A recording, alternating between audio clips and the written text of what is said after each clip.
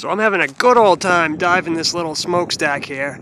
The only problem is today it's sort of raining, it's windy, and this is in kind of a really sketchy spot. The wind keeps blowing me towards the power lines, and I'm trying to dive down, and I keep drifting out. But I'm having I'm having a good time. I'm gonna post some flight videos of this. It's it's pretty fun. It's just a random smokestack in the middle of nowhere. There used to be two of them, but uh, this used to be all all empty. But they're doing some construction here.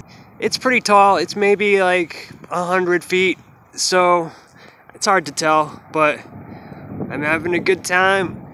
Just too windy, and uh, it's kind of cloudy out, and uh, this is kind of sea salt air, so the camera keeps getting kind of glazed over with the salt air, and I can't really see. You'll see in the flight footage, so.